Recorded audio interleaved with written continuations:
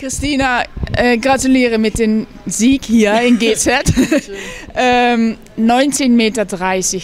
Da haben Sie eine Erklärung für, ne? Natürlich. Also der Wettkampf war nicht so gut. Wir sind ins Stadion geführt worden, dann hat es sehr stark angefangen zu regnen. Dann sind wir wieder rein, dann gab es keinen Raum für uns, da sind wir auf Toilette gegangen, damit wir da warten.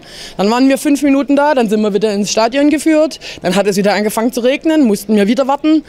Dann durften wir endlich anfangen. Dann habe ich noch mich mit dem Schiedsgericht rumgestritten, weil ich einen, meinen Fuß angeblich auf die Ringkante am Start gesetzt hätte, was nicht, nicht so ist, kann aber durch Kamera nicht bewiesen werden, somit ein ungültiger Versuch und so pusht sich der Wettkampf ins Negative hoch.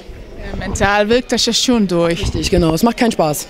Und jetzt den 19,30 Meter ist ja aber nicht so ganz, was Sie jetzt schon mit den 2020 gestoßen haben dieses Jahr. Ist leider nicht so schön, aber die Vorgeschichte vom Wettkampf erklärt damit einiges. Und auch ein Stück weit eine Verunsicherung vom Schiedsgericht ist, ja, wenn Konkurrenz, damit kann man leben, aber wenn der Schiedsrichter einen so unfair behandelt, das muss man erst mal lernen.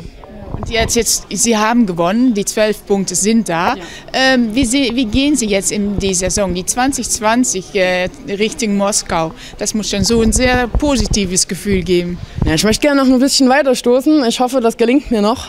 Und in Moskau natürlich dann umso mehr zeigen, was ich kann und nicht so wie heute. Was, was steht denn jetzt weiter noch aufs Programm äh, zwischen jetzt und Moskau? Ja, wir haben noch äh, deutsche Meisterschaften. Dann habe ich noch zwei Wettkämpfe, bevor wir dann in die direkte Vorbereitung von Moskau gehen. Und dann ist ja schon die WM da. Jetzt, jetzt ist noch GZ mit dem mit deutsches Team. Ja, aber das war kein gutes Ergebnis. Also die zwölf Punkte für Deutschland sind sicher und das ist wichtig. Aber das Ergebnis ist nicht gut. Das vergessen wir dann schnell. Genau so. Okay, danke. Schön, tschüss.